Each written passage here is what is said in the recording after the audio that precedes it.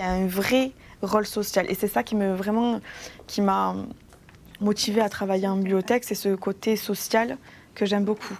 C'est-à-dire que sont utiles de, de donner quelque chose à l'autre, de transmettre quelque chose à l'autre.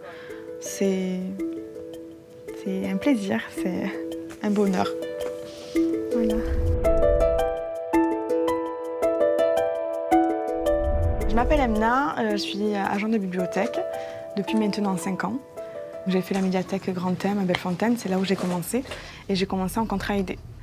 Et puis après, je me suis formée avec euh, l'Association des bibliothécaires de France. J'ai fait euh, trois bibliothèques de quartier.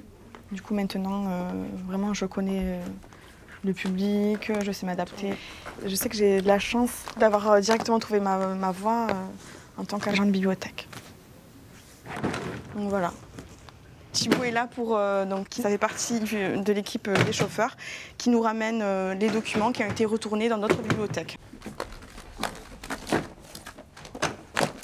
En bibliothèque, on ne peut pas travailler seul.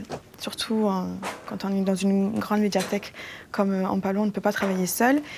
On est complémentaires et puis voilà, c'est de l'entraide, il y a un esprit d'équipe. Ce que je fais, c'est vraiment diversifier parce que je vais autant accueillir le public, faire du service public, faire du pré-retour rangement, du conseil. Euh, je peux te renseigner, je connais un, livre, c'est de Sengue Sabour, et en fait c'est Pierre de Patience le titre.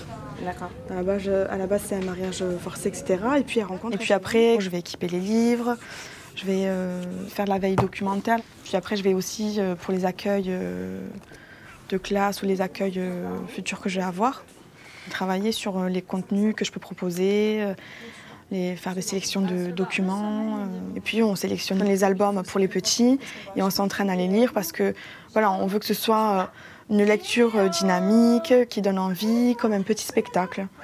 C'est moi, princesse, le célèbre chevalier noir. Une bibliothèque, on, veut que ce soit un vrai lieu de vie. Les enfants sont là. Euh, il y a les bibliothèques aussi qui attirent euh, les, adolescents. On travaille avec plusieurs publics, euh, plusieurs secteurs. C'est vaste, c'est varié. C'est un partage qu'on a avec le public. Le trou noir, attention, hein, c'est le trou noir. Attaque toujours, première syllabe. Allez, on reprend juste ça.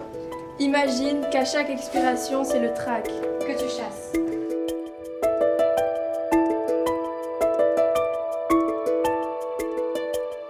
Il y a vraiment une, vraie part de créativité parce qu'on se doit de se poser cette question qu'est-ce qu'on peut euh, faire pour attirer des nouveaux publics et fidéliser le, public euh, qui fréquente euh, la bibliothèque. C'est aussi à travers toutes les, actions qu'on mène, toutes les animations qu'on propose, montrer qu'en bibliothèque, on est bien, on, se sent bien, on peut juste on peut prendre un livre, euh, on peut le lire, on peut juste le regarder, le reposer, on peut s'installer, euh, écouter de la musique. Euh, déjà, pour nous en tant qu'agents en bibliothèque, qu'un usager rentre à la bibliothèque, qui s'installe, déjà pour nous c'est quelque chose de gagné. Ce qui est bien aussi, c'est que souvent, quand les usagers viennent directement et ils vont nous dire ah, merci, c'est gentil, j'ai parlé avec vous deux minutes, mais j'ai passé une mauvaise journée, mais grâce à vous, je me sens mieux. Ben, ça nous fait plaisir aussi.